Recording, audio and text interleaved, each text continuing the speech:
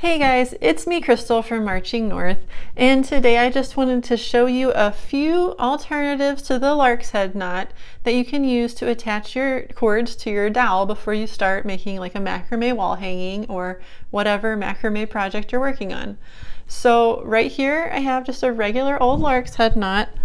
Make your loop and you fold it over your dowel and just pull the ends through. And it's super simple, it does the job but maybe you want to try something different. One thing that can be annoying with the lark's head knot is it can be kind of unstable and it loosens pretty easily and you kind of have to adjust it a lot when you're working. Um, so here's some other alternatives here. We have the slingstone knot or the slingstone hitch. And this one I honestly could not find out what the specific what the actual name is, but I'm gonna just call it a reinforced lark's head knot. Then we have the cat's paw knot right here. So let me just show you how to tie these. First, we're going to do the reinforced lark's head knot. So you're going to take your cord, fold it in half, and you're going to just drape, drape it over your dowel so it's just hanging with right in the middle where it's folded in half. So you're going to start like that. Then take your ends and then you're going to fold your two ends, which let me show you how they look here. So you have your two ends met up here at the bottom. You're going to pull them up over the dowel and then this loop that is formed here, let me show you, you're going to pull them down through this and then just tighten it up. And you have to kind of adjust it a little. But then this makes a nice reinforced lark's head knot with this cool diagonal bar going across it. Now if you want your diagonal bar to face the other way, I'll show you how to do that. Just loop it over your dowel, meet up the ends, but this time we're gonna, we're gonna loop it over on this side. So you push it over to the right, then meet up your ends at the bottom, loop them up behind and through the loop and tighten it up. And then kind of tighten and adjust a bit. And then there you go.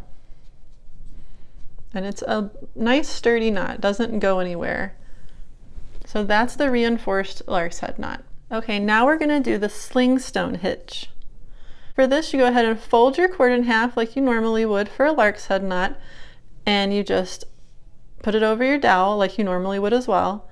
And then instead of putting the cords through the loop like in that direction, like through like this, instead you're gonna wrap them around and put this one, pull this one through, and then you're gonna wrap this one around this side and pull it through like this. And then just tighten it up And there you go. And this is also a really secure knot. Now I'll show you if you do it the other way,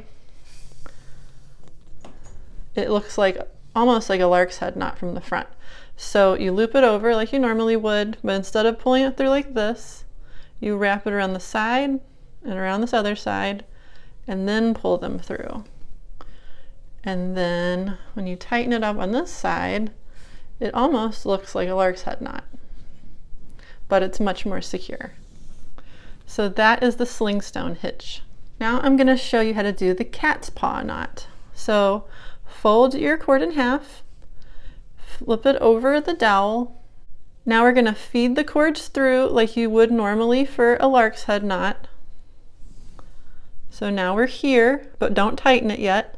Instead, you're going to feed the cords through again. Oh, that's two times on this side and two times on the left. And then we're going to do it one more time. So three times on the right and three times on the left. And then it's going to look like this. And you just tighten it and push it up. And then it looks like that. And that is the cat's paw knot. If you enjoyed this macrame knot tutorial, please leave a like. And be sure to subscribe to my channel for more crafty tutorials and DIYs. Thanks for watching!